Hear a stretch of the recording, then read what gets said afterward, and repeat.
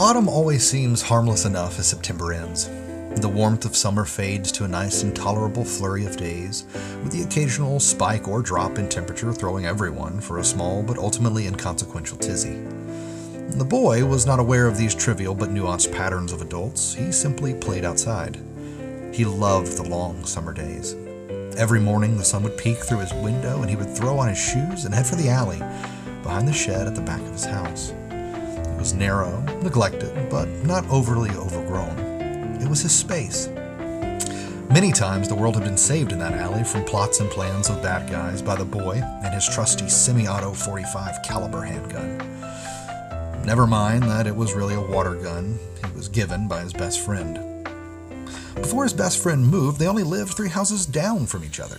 The two boys were kings of the alley. They were detectives for the LAPD or NYPD or FBI as they imagined damsels in distress or hostages kidnapped by Russian terrorists or they had to sneak into a Colombian drug lord's cartel headquarters.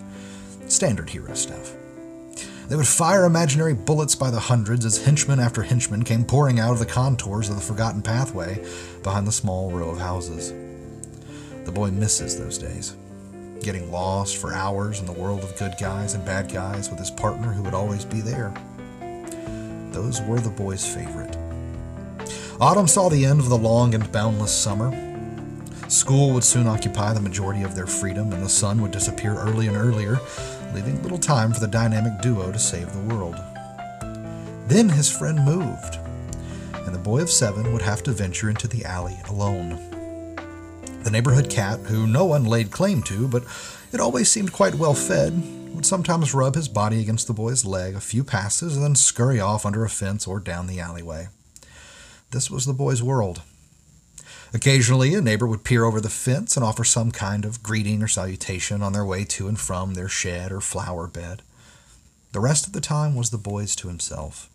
He knew every ant hill. He knew every type of ant that resided in every ant hill. One time he had dug out a molehill in an attempt to see how and where the moles lived. It was ultimately a fruitless endeavor. He had gotten more than a few splinters from the light poles that had lazily strewn wires and cables hanging from them, and the boy could tell you what every backyard was like, not because he was defiantly or deviantly spying, but from a boyish curiosity as he peeked through the slats. The boy's parents knew where to find him and did not bother him until they had need. He could play in the alley late into the evening, seeing as how there was a street light. Most often the boy would come home once he had grown tired. The boy had always hated winter, but he had come to peace with the season. The boy had a growing hatred for autumn, though. Autumn would offer glimpses of summer, but then take them away. Winter was at least consistent. Autumn lacked conviction, as it let everything that was green turn brown. By November, the ground seemed to always be wet and muddy, even if it had not rained in days.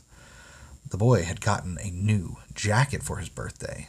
This jacket was too large, and it had a thick down layer, and the sleeves had a hole for his thumbs. It has to be quite cold for a child of seven to notice the cold, and he had noticed it quite often before he had gotten this new jacket. It was like a hug. He would sit with his back to the garage wall and sit on the stump and sink into the coat. He would zip the neck above his head and draw his arms into the sleeves, making his coat a warm little room where he could play with his action figures in the short afternoon hours. It was perfect, and he loved it. He felt a sharp sadness the first time that he got a spaghetti sauce stain on the inside sleeve. It was small and not really noticeable, but it felt like the death of something. Not the jacket itself, but the jacket's perfection. The boy didn't know that he was blaming himself, but even at that early stage, he had known that the jacket's tainting would be his own fault. It was one blistering cold evening when a neighbor saw the boy tracing his math problems in the dirt with a short, stubby stick under the streetlight that he peered over the fence and asked the child, Hey kid, why do you love this alley so much? The boy had never really thought about the alley being a place that he could love or hate. I, uh, the boy tried to speak out out of a sense of respect for adults, but faltered since he had not really thought about the alley in any real way. It was just a place to go. It was just the place for him to go. He had never evaluated the alley apart from itself. As the bright but wordless boy searched for the polite way to answer a question that he did not know could be answered, his father burst through the back door. He shouted for the boy. Where are you at, boy? Get your butt home. Through slurred tones and clumsy syllables, the neighbor understood all at once why the boy did not have an answer.